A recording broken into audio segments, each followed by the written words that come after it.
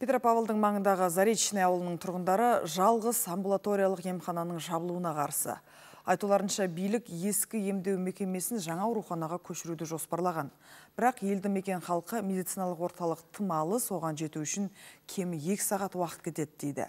Тұрғындардың талабын әріптесім Руслан Жасұланұлы тыңдап қайтты. Заречный ауылындағы жалғыз амбулатория жабылады деген жаңалықты естіген жұрттың дегбірі қашқан халық емдеу мекемесін басқа ғимаратқа көшіруге үзілді кесілді қарсы өйткені жаңа емхана алыста орналасқан оған жету үшін екі сағат уақыт кетеді дейді тұрғындар. Енді қалаға кетсе біз қаламыз солай, как вымирающая деревня будем.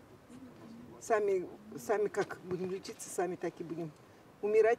медпункт деген аты ғана болмаса тұрғындар оның жұмысына да көңіліміз толмайды. Өйткені мамандар науқастарды таңертең небәрі екі сағат қана қабылдайды ал түстен кейін оның есігі тарс жабылады яғни үлгермегені күн санап кезек күтуі тиіс. Сондықтан жұрт ескі ғимаратты жаңартып ауылға басы ауырып балтыры сыздаған адамдарды емдей алатын білікті мамандарды тартуды сұрайды. Я не знаю, почему так решили. бізге дәрігер керек медициналық орталық деген аты ғана медбике мен фельдшер ғана отырады. Ал олар бізге не істейді бізді емдей алмайды. Ал денсаулық сақтау басқармасындағылар тұрғындардың шағымынан кейін амбулаторияны қалдырамыз деп сендірді. Бірақ тозығы жеткен емхана санитарлық талаптарға сай емес деп отыр.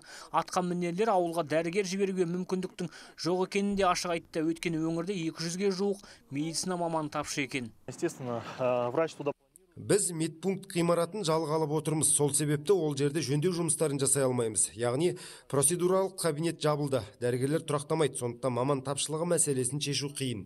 Оған қоса заречный ауылында дәріхана да жоқ дертіне дауа іздеген халық дәрі дәрмекті қаладан сатып алады. Себебі екі мыңнан астам адам тұратын ауылда дәріхана ашу кәсіпкерлерге тиімсіз. Руслан жасұланұлы азамат елубаев информбюро солтүстік қазақстан облысы.